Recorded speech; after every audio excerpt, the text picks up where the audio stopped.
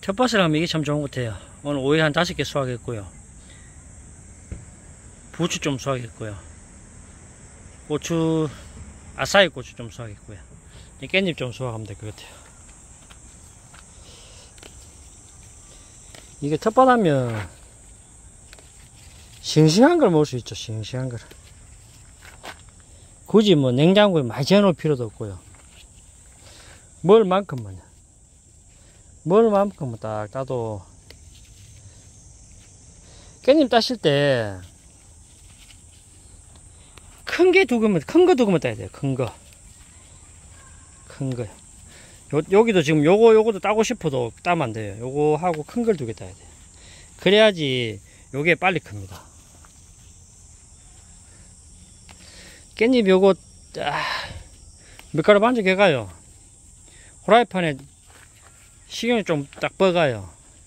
아, 이거 깻잎 전 부치 놓으면 막 끝내줍니다.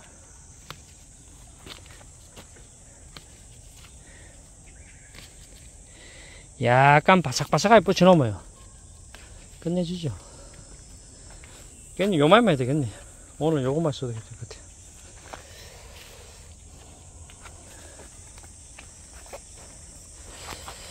된장찌개 좀 끓여야 될 것 같아요. 아, 때 땡초 많이, 많이 흐르네. 땡초 뭐 계속, 땡초는 제가 계속 따먹어요. 비가 많이 많이 굴러요.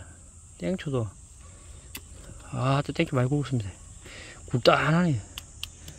땡초 한 3개만 해도 된장찌개 합니다. 이 땡초하고 섞여놓으면 뭐가 뭔지 모르기 때문에 땡초 따로 들어가야 돼.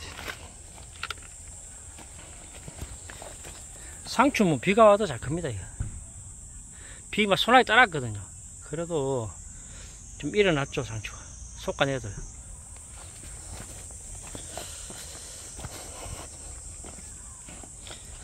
상추는 아 상추는 제가 미리 좀 솎았어요. 이거 놔두고 상추는 제가 그냥 상추 꽃입니다 꽃. 이만합니다 잘랐어요. 이거 5월 초순에 했는 거거든요. 이거만 해도 뭐 엄청 많습니다 조금 더 할까요? 상추 씨앗은 제가 1년에 10번 뿌리 10번. 이런 거 있죠, 이런 거. 이런 건 지금 상추 너무 많아 가좀 잘라야 돼. 고, 고마스하게 돼요. 이런 거 하면. 상추 꽃입니다. 대 있죠? 대, 중간 뿌리 대는 보면 이거. 이런, 이런 거 있죠. 이런 거. 상추 꽃이죠. 큰 거 좀 잘라.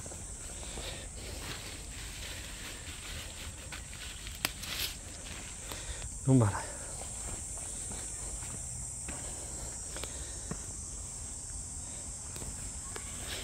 이것도 지금 잘라도 되고 지금 자꾸 비 오기 때문에 좀 섞어줘야 돼.